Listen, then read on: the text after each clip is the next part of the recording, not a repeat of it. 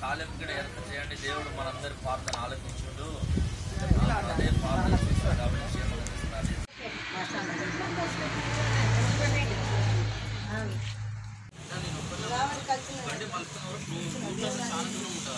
వెళ్ళిపోయారు bus stand five థర్టీకి అనిపించింది అయితే అడిగి వాళ్ళ డాడీ కాల్ చేస్తారు.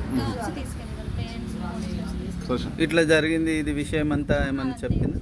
ఏం చెప్పలేదు. ఎట్లా? అంటే నాకు తెలుసు మా ఊరే అనమాట. రిలేటివ్ అవుతుంది ఆహా ఆడ బస్ స్టాండ్లో నీకు కనిపించిందా. కనిపించి గుర్తుపట్టి అడిగినాను మీరు ఎక్కడ. వస్తున్నారమ్మా నేను ఆదిలాబాద్ నుంచి మా ఇంటికి మళ్ళీ పెళ్ళికి వెళ్తాను.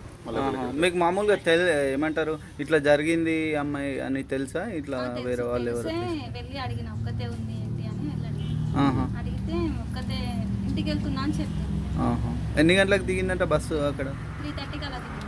ఆహా. దిగి అక్కడనే వెయిట్ చేస్తుంది. ఎవరి ఫోన్లు వేరే వాళ్ళ ఫోన్లు కూడా ఏమన్నా